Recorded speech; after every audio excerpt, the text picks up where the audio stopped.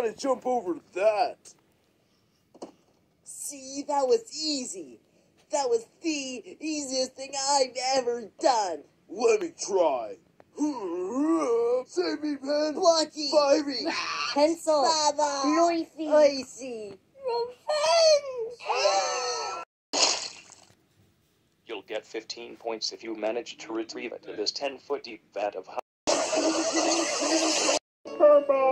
Lucius, get this guy out of here. So yeah. I know. You don't.